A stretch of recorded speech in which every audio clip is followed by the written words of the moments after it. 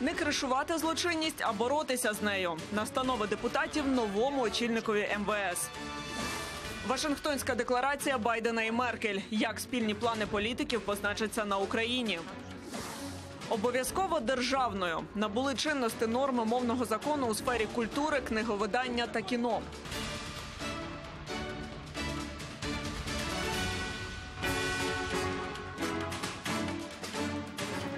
Вас на інтері. Далі короткий підсумок головних новин п'ятниці станом на тепер. Мене звати Ольга Сас.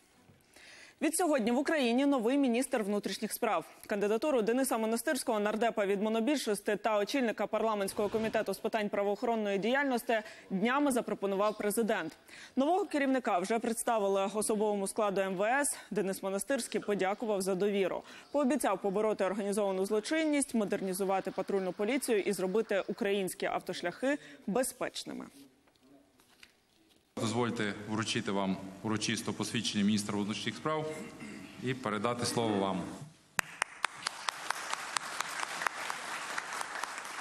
Для нас дуже важливо, щоб всі ми пишалися нашою національною поліцією, нашими правоохоронниками, правоохоронними органами. І мені здається, що саме це завдання найголовніше для нового міністра внутрішніх справ. Той процес, який ми почнемо, він однозначно буде видимий для всього суспільства е, і для вас, пане президенте, і для всього уряду. Дякую вам за велику довіру. Е, Я сподіваюся на е, співпрацю з справжніми офіцерами, які працюють в Міністерстві внутрішніх справ. Слава Україні! В останній пленарний день сесії, крім призначення головного правоохоронця, обранці ще встигли послухати звіт головного урядовця про депутатські настанови новому очільникові МВС і добрі новини від Дениса Шмигаля розкаже Лариса Зубенко. Крісло голови МВС залишалося порожнім лише добу. Напередодні під головним куполом звільнили Арсена Авакова. Сьогодні взялися за призначення його наступника. Я поважаю усіх із вас, хто має офіцерську честь і гідність. Але я буду нещадно боротися з тими, хто всупереч присяги використовує свої повноваження задля власного збагачення та порушує права людей. Із чого слід почати роботу в міністерстві новоспеченому очільникові відомства підказувала колишні колеги. Те, чого всі українці сьогодні чекають, це коли в нас з'явиться не лише нова патрульна поліція, а з'явиться нова поліція. Коли в нас будуть сидіти на богомольця і не кришувати наркотрафік, а ці люди будуть боротися з наркотрафіком. Ми готові до конструктивної роботи з вами в питаннях захисту країни, в питаннях боротьби з ворогом, в питаннях захисту прав людини. Бажаємо вам, щоб робота очолюваного вами міністерством не політизувалася. Тож голосів на підтримку нового міністра у сесійній залі вистачило. За 271 рішення прийнято. Вітаю вас, Денис Анатолійовичу, з обранням на посаду. Перед виходом на канікули встигли нардепи заслухати і звіт глави уряду. За словами Дениса Шмигаля, із 1 жовтня пенсіонери старші за 75 почнуть отримувати додатково по 400 гривень на місяць. Відновлять доплати і пенсіонерам-силовикам приблизно по 2 тисячі гривень на місяць.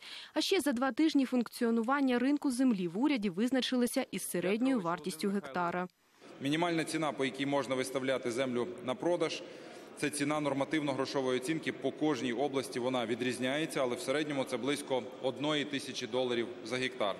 В дійсності ми отримали потужний драйвер розвитку економіки, і наша мета, щоб цей інструмент розвитку став максимально дієвим і відповідав інтересам українців.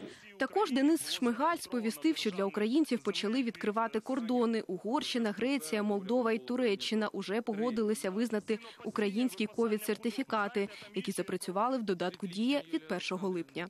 Лариса Зубенко, Володимир Самченко. Новини телеканал Інтер. Зранку на сході країни одне порушення режиму тиші. На Луганському напрямку лінії розмежування перетнув ворожий безпілотник типу Орлан-10. Напередодні на фронті поранено п'ятьох українських військових. Противник вісім разів атакував позиції наших захисників. Бив з протитанкових ракетних комплексів, артилерійських систем 82-х і 120-х мінометів, гранатометів і великокаліберних кулеметів. Під ворожий вогонь потрапило мирне селище Нью-Йорк, колишнє Новгородське, що на Донеччині. Незаконні збройні формування атакували з важких гармат. Один зі снарядів розтрощив дах будинку і наробив лиха на сусідніх обійстях. Наслідки обстрілу бачив Руслан Сміщук. Майже центр Нью-Йорка, фронтового міста, якому нещодавно повернули історичну назву. Вчора ввечері сюди прилетів гаубічний снаряд. Він влучив у нежилий будинок. Проте вибухова хвиля зачепила два жилих подвір'я. С полвосьмого началась, э, была стрельба. Ну, три раза. Вот. э, С трех раз, а потом такой э, звук пошел сильный. Я сидела в беседке, перебирала огурцы на закупорку. Вот. Потом бац, стало гореть. Дым. Цьому будинку дісталося найбільше. Пані Олена саме була вдома. Насколько ее вырвало, что вот ключ аж сюда отлетел. Она вот тут стояла здесь, лодка. Это ее так вырвало волной. З початком обстрілу жінка сховалася за цим диваном. Каже, іноді по Нью-Йорку прилітає, але такого ще не було. Ну, как-то все на окраинах. Мы просто там где-то прилегли, лежали. Чтобы так конкретно на центральную улицу залетело, это первый раз такое. Вообще. Никто даже не думал, не ожидал. І хоча околиці Нью-Йорка періодично відчувають ворожі атаки, серед містя війна майже оминає. Ось через це виробництво. А всього за декілька кілометрів знаходиться фінольний завод, небезпечне хімічне виробництво. І якщо снаряди влучать сюди, тут буде справжня екологічна катастрофа із сотнями, а можливо навіть і тисячами жертв. А радіус забруднення сягатиме десятки кілометрів по обидва боки фронту.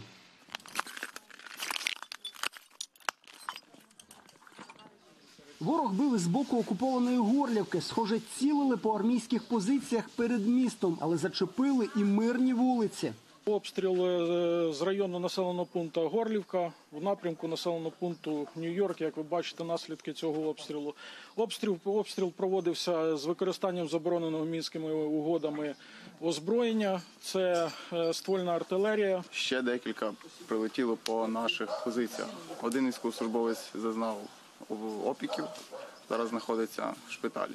Ворожі медіаресурси навіть не приховують факт обстрілу. Опублікували в інтернеті фрагменти вогневого удару по Нью-Йорку.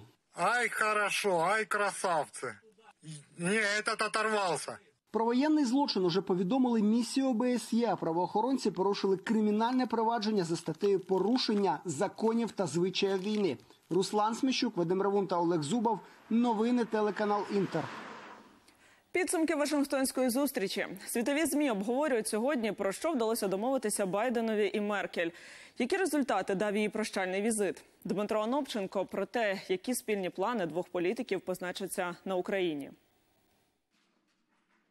Ще не так давно в цьому ж овальному кабінеті Білого Дому Меркель зустрічалася із Трампом, і особиста антипатія між двома політиками тоді відчувалася навіть у повітрі, настільки була помітною в жестах і виразах облич. Ну а тепер який контраст із Байденом пані канцлер була привітною і усміхненою. А президент США, відчуваючи, що треба залагоджувати старі конфлікти, був чемним, терплячим і не тиснув у тих питаннях, де є розбіжності. І коли після перемовин два політики вийшли на спільну прес-конференцію, стало зрозуміло, такий підхід спрацював, втім лише частково. У багатьох питаннях є спільне бачення. Про нього говорили. Але щодо найгостріших тем, зокрема і північного потоку, Меркель, а отже, і Німеччина залишилися при своїй думці. І Байден особливо не переконував, змирившись із тим, що це ціна відновлення відносин із провідним партнером США, і варто зосередитися на тому, що об'єднує. Я ще раз наголосив, що занепокоєний щодо другого північного потоку, і в чому ми абсолютно єдині із канцлером Меркель, то це в тому, що Росії не можна дозволити використовувати енергетику як зброю, щоб тиснути і погрожувати своїм сусідам. Про Україну і Байден і Меркель згадували часто. Президент США заявив, разом захищатимуть її суверенітет, а також підтримують трансатлантичні сподівання. Меркель теж була доволі конкретною. Наша думка: Україна має і далі залишатися транзитною державою для транспортування газу. Вона, як і будь-яка інша країна світу, має право на територіальну цілісність. Ось чому ми залучені до мінського процесу і надалі залишатимемося його частиною. І ми готові активно діяти в разі, якщо Росія не поважатиме прав України як транзитної держави. А головне про що домовились, так це про глобальне стратегічне партнерство США та Німеччини е, в питаннях клімату та енергетики. І цей проект спрямований зокрема і на допомогу державам Центральної Європи та Україні. У Білому домі роз'яснили пресі. Будуть три напрями: протидія глобальним кліматичним змінам, е, спільна розробка критично важливих технологій для енергетики. Ну і власне третє, найважливіше для нас з вами проекти допомоги. Однак це не будуть прямі фінансові транші, це будуть інвестиції. Зокрема, і на цьому особливо наголосили для підтримки енергетичної трансформації України. З Вашингтона Дмитро Ановченко, Сергій Коваль, американське бюро телеканалу Інтер. Володимир Путін особисто санкціонував секретну операцію з підтримки Трампа на президентських виборах у 2016-му. У цьому впевнені журналісти видання The Guardian. Вони отримали документи, з яких випливає, що в січні 16-го під час закритого засідання, Радбезу Федерації Путін доручив трьом шпигунським агентствам знайти практичні способи підтримати Трампа, оскільки в Москві вирішили, що його перемога призведе до дестабілізації в країні і змусить вирватися назовні приховане невдоволення. У Кремлі ж такі закиди спростовують. Понад 700 нових заражень ковідом за минулу добу в Україні. Найбільше випадків у Києві та області, на Одещині, Донеччині та Полтавщині. 17 людей померли від ускладнень, майже 400 хворих ушпиталили. І триває кампанія з імунізації. Від лютого першу дозу вакцини отримали понад 2,5 мільйони українців, а дві дози – мільйон 360 тисяч. Відсьогодні набирають чинності чергові норми мовного закону. А вони стосуються сфери культури, книговидання та кіно. Отже, від 16 липня державна мова обов'язкова для концертів, шоу-програм та інших заходів. Вистави іншими мовами в державних та комунальних театрах мають супроводжуватися українським перекладом. Мовою демонстрування фільмів в Україні, музеїв та виставок, а також туристичного обслуговування є державна. І сьогодні ж розпочинається реєстрація на іспит щодо рівня володіння українською для держслужбовців та осіб, охочих набути громадянство. Одна з норм закону стосується книговидавців. Не менше ніж половина назв усіх книжок, виданих упродовж року, має бути українською. Але це зовсім не означає, що невдовзі полиці книгарень будуть переповнені вітчизняними виданнями. Хоча і попит є, і пропозиція. Про тенденцію українського книжкового ринку в сюжеті Тетяни Радченко. Український письменник Анатолій Дністровий у літературі вже майже третину століття. Починав творити ще в студентські роки. Видав зо два десятки книжок. В різних тематичних працюю і жанрових нішах: поезія, есеїстика, проза, дитяча література, нонфікшн, такий більш інтелектуальний. Пан Анатолій переконаний, що нині відчувається неабияке піднесення вітчизняної літературної творчості. Українські письменники можуть скласти гідну конкуренцію зарубіжним. От тільки читати друковані книжки українці стали дедалі менше. Сучасна література не має такого ще, так би мовити, охоплення читацького, і вона тому дуже цікава. Чи це британська, чи польська, чи українська, там за яка завгодно література національна. Це дуже справді така дуже динамічна реальність, яку е, постійно треба відкривати. Нині більшість віддає перевагу електронним виданням, адже дуже просто відсканувати книжкову новинку і викласти в мережу. І в такий спосіб збільшити кількість піратського контенту, через який українська книжкова галузь щороку втрачає 30 мільйонів доларів. А паперову книжку коли в останній раз ви читали? Давно мені подобається читати електронні книжки, бо їх не можна ну, не треба постійно з собою кудись додатково брати. Я більше предпочитаю електронні книжки, тому що так удобні. Тож щоразу, коли ви завантажуєте новий український роман з інтернету, пам'ятайте, цим ви обкрадаєте вітчизняних письменників та видавців.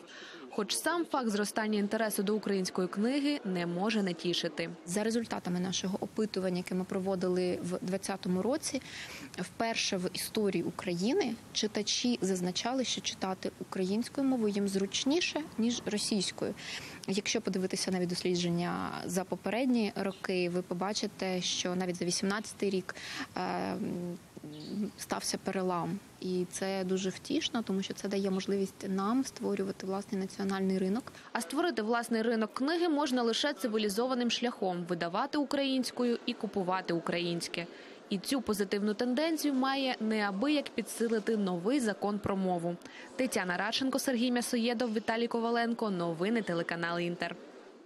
Півмісяця без води. Частина жителів, жителів курортного селища Східниця, що на Львівщині, досі потерпає від нестачі питної води. Особливо це вдарило по місцевому туристичному бізнесу. Відпочивальників дедалі менше, готелі закриваються. Скільки ще людям доведеться чекати води в пору аномальної спеки, з'ясовувала Христина Гашенко. Понад півтори тисячі жителів курортного селища Східниця 16 днів без води. Час від часу пожежна машина привозить технічну для господарських потреб. Дві тони 250 літрів. А скільки разів в день ви возите? Ну, я коли сім разів, шість разів, п'ять разів. Люди бідні не можуть носити. Є в нас багато тут старих, престарілих, які не можуть носити. Хлопці тягають у ту воду. А питну воду просять у тих, хто має криниці, утім і її намагаються економити, бо через спеку колодязі міліють. Наскладуємо посуду, прикриваємо рушниками, щоб мухи не лазили, щоб не розносилася інфекція, щоб воно не гнило. Обтираємо салфетками менш більше, щоб посуда могла вистояти 2-3 дні. Від нестачі води особливо потерпають невеличкі готелі та приватні будинки, які приймають туристів. На подвір'ї Максима криниця є, втім пити воду із неї не можна. Перевищена норма заліза. А вода жовта. Ну, через 10-20 хвилин вона буде набагато жовтіша. Тож цю воду в готелі використовують для господарства. Для туристів, а це понад 20 осіб, привозять джерельну. Підвожу воду, як можу, стараюся там ввечері на 2 години включаю людям чисто, щоб вони там могли одяг випрати, тому що після цієї води білі речі будуть жовкнути. В мене є резервуари. Там на один день їх вистачає. Через відсутність питної води їхати оздоровлюватись мінеральної туристи не квапляться. Тож частина невеликих готелів у східниці вже закрилась. Звісно, що от переживають, і багато людей не поїхало із-за того, що побачили цю ситуацію і думають, що нема де помитися. Після масажа прийшов після масла сполоснутися. Там ж от така ситуація, звісно, неприємна. Проблема з питною водою, бо водоканал Борислава, який раніше її постачав, тепер належить іншій ОТГ. Тож у східниці повинні укласти нову угоду. Документів кажуть, тут від комунальників сусіднього містечка досі не бачили, і лише через півмісяця селищний голова відрядив у Борислав, що за 15 кілометрів свого заступника, аби той їх таки отримав. Але нема договору, йому так і не вручили його. Коли вода буде? Я вам не можу відповісти, я договора не маю. Немає угоди, немає й води. Тож добрих новин для місцевих жителів теж поки що немає, як і для місцевого туристичного бізнесу, у якого зараз саме розпал сезону. Христина Шенко, Юрій Голубінка. Новини телеканал Інтер Львівська область. А в Європі біда через велику воду. Понад сотня загиблих. Ще більше ніж тисяча зникли безвісти. Через повені на заході Німеччини Міністерство оборони оголосило в регіоні стан військової катастрофи. Про лихо історичного масштабу Тетяна Логунова.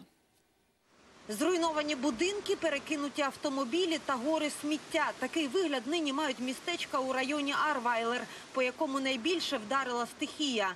Місцеві із жахом згадують той момент, коли прийшла велика вода.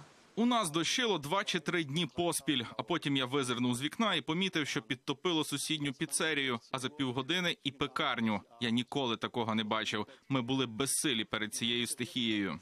Стихія взяла в полон дві німецькі землі. За лічені години люди втратили рідних і друзів, домівки і майно. Уряд спорядив у постраждалі регіони військових. Вони допомагають ліквідувати наслідки стихії та шукати зниклих безвісти. Скільки їх наразі точно не знає ніхто у регіоні перебої з мобільним зв'язком, але рахунок іде на сотні.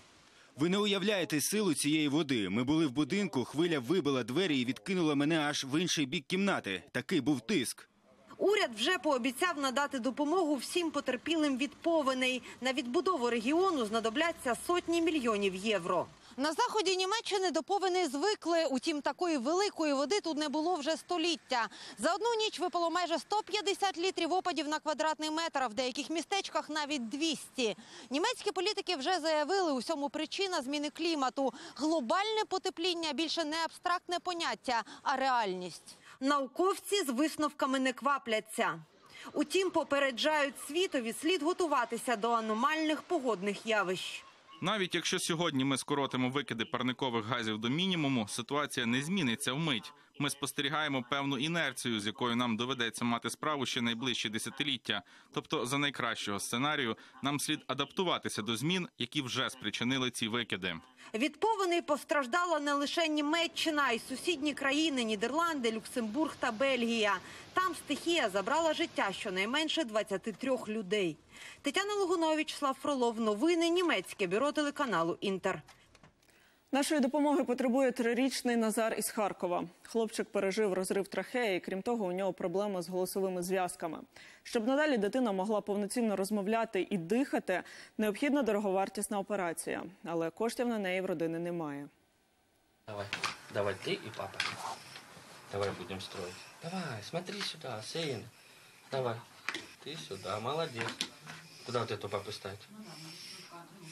Сюда. Трирічний Назар будує з батьком замок із конструктора та залюбки грає в м'яча. На перший погляд, звичайна дитина, і лише важке дихання та пов'язка на шиї вказують на проблему. Трахеостома – це трубка на горлі, без якої самостійно дихати дитина не може. Назар народився передчасно. Потім хлопчик пережив операцію на серці. Під час чергової медичної маніпуляції стався розрив трахеї. І знову наркози, зупинка серця. Із київського Охмаддиту Назара виписали вже з трубкою.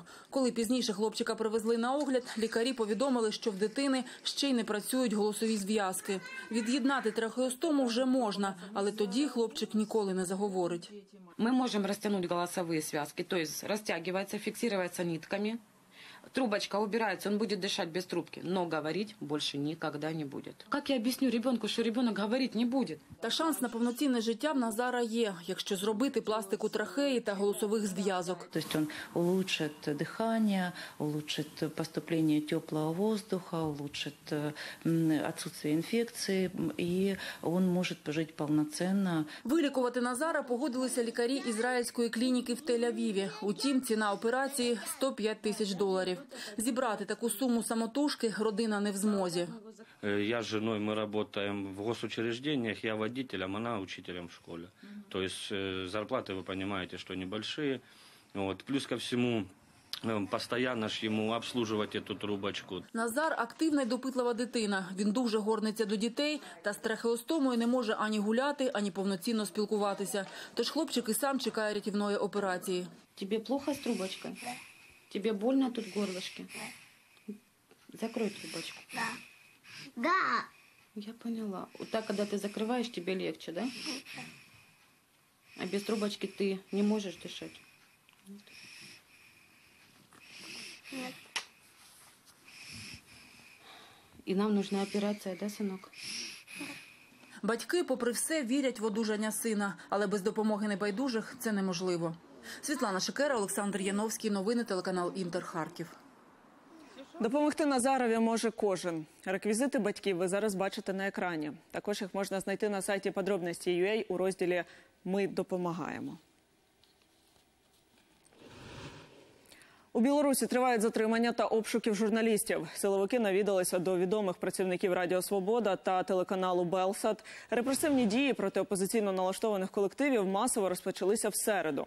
Обшуки провели в офісах 23 неурядових організацій від правозахисних груп до творчих спілок та дослідницьких центрів. Раніше міністр закордонних справ Білорусі попередив, що громадянське суспільство зникне в країні у відповідь на розширення санкцій проти Лукашенка та його оточення. Водночас невизнаний президент Білорусі підписав закон, яким дозволив залучати збройні сили для придушення масових протестів. У Литві на кордоні з Білорусі почалися навчання швидкий меч. Це перший вишкіл на території країни, у якому бере участь штаб бронетанкової дивізії Бундесверу. Під час маневрів відпрацьовуватимуть планування та командування об'єднаними операціями союзних сил. За сценарієм навчань учасники тренуватимуться протистояти гібридним загрозам і проводити операції колективної оборони. Латвійські фермери потерпають через брак українських заробітчан. Нікому збирати полуницю, вишню та чорницю. На багатьох підприємствах бракує половини необхідних сезонних працівників. Власники ферм готують нове прохання до уряду полегшити умови для в'їзду іноземних робітників. На попереднє звернення Міністерство землеробства відповіло порадою наймати безробітних. Однак місцеві жителі неохоче йдуть на збір урожаю, адже оплата іноді менша за допомогу з безробіття. Тож раніше цю трудову нішу заповнювали українці. Косатки припливли в гості до українських полярників. Про особливих відвідувачів станції Академік Вернацький розповіли самі працівники. Побачити косатку біля берегів Антарктиди досить рідкісне явище. Та до українців завітали аж дві. Косаток легко відрізнити від інших дельфінових за чорно-білим забарвленням і гострим великим спинним плавцем до двох метрів завдовжки. І на цьому у мене всі новини. Як розвиватимуться події п'ятниці? Дивіться в ефірі подробиць о 20-й. Від мене вам побажання гарного вечора і захопливих вихідних.